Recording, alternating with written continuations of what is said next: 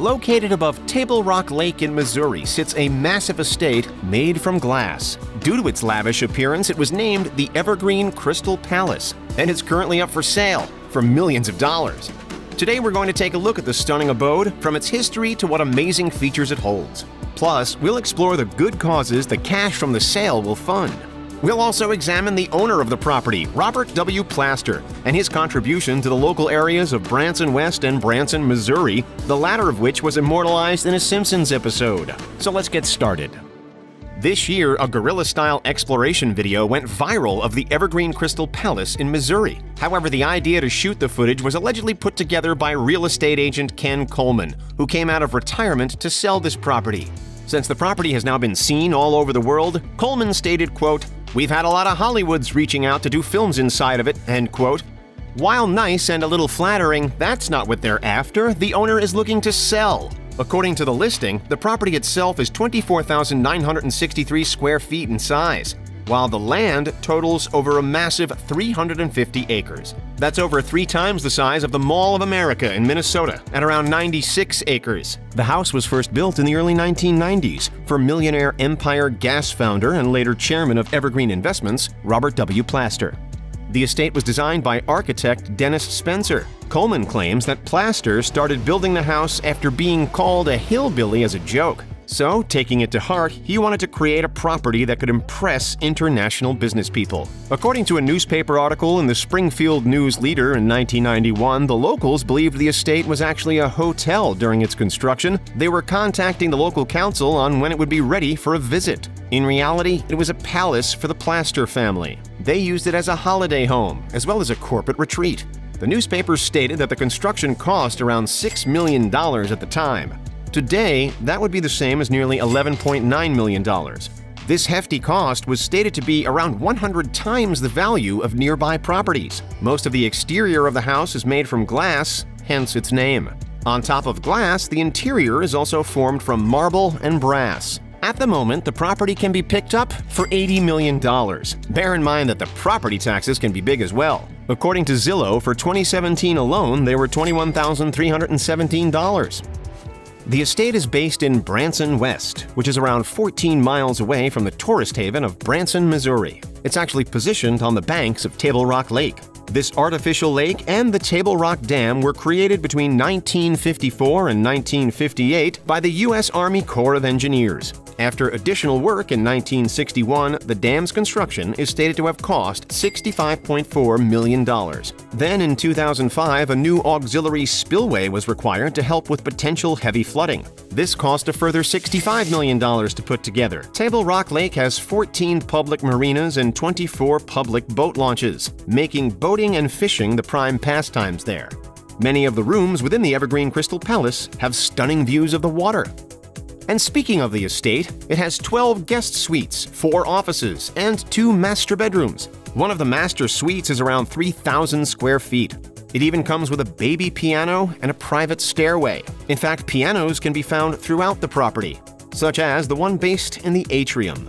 Coleman describes the interior design as though it's been frozen in time from when it was created in the 90s. Typically, a garage wouldn't usually be a big selling point of the house. However, this Crystal Mansion has a much bigger than average garage. Back in 1991, the garage was stated to be 8,000 square feet and be able to hold up to 14 cars. In more recent articles, that number has jumped to 20 cars. According to Home Advisor, a one-car garage can cost up to $27,000 to install. So the estate's garage could cost up to $540,000 to put together. Another unusual feature of the house is the indoor firing range with two lanes. Some reports state that it can even be used as a panic room, as the window into the room is even bulletproof. According to experts, a home firing range starts at around $10,000 and can go into the hundreds of thousands for the more advanced systems. Typically, the cost is usually around $60,000. Considering the Crystal Palace has five levels for someone to traverse, an elevator is a pretty handy addition. Plus, it goes well with the high-class hotel theme. Home Advisor states that the cost of a home elevator can be as much as $60,000. If we step outside of the glass house, one of the big selling points for someone with a lot of money is a place to land their own private helicopter. Well, the estate has a large concrete helipad positioned near the actual house. According to experts, a small basic helipad can cost $15,000 to install. while a more high-tech and larger version can go up to $500,000. When it comes to building a massive estate, a swimming pool is probably one of the most popular amenities featured. So of course Crystal Palace has one as well. Home Advisor states that an in-ground pool similar to the estates can cost up to $66,500 to install, while custom pools can go upwards of $100,000. Also included in the estate are quarters for a live-in caretaker, a private boat dock, and eight private peninsulas. As mentioned on the listing, the buyer also has the option to pay for further acreage, a fishing lodge, and several other nearby houses as part of the Crystal Palace deal. The current trustee for the estate is Steve Plaster, the son of Robert. He received the property after Robert passed away in 2008. According to Coleman, Steve had a health scare recently that made him and the Plaster family look at offloading their bigger properties. However, the money wasn't going towards any medical costs. Instead, the full sale cash would be sent to five colleges within the U.S. to be used for scholarships through the Robert W. Plaster Foundation. Robert Plaster made his name from founding Empire Gas in 1963 within the Missouri Ozarks region. He used $25,000 of his own cash and $2.5 million in loans from various sources to do so. Today, that would be the same as nearly $220,000 and $22 million, respectively. Soon, the company became one of the largest propane distributors in the country, Plaster later sold Empire Gas to Steve and other managers at the firm. Later, the company was sold for $120 million to Northwestern Public Service Company. Robert used the proceeds from selling to his son to found Evergreen Investments.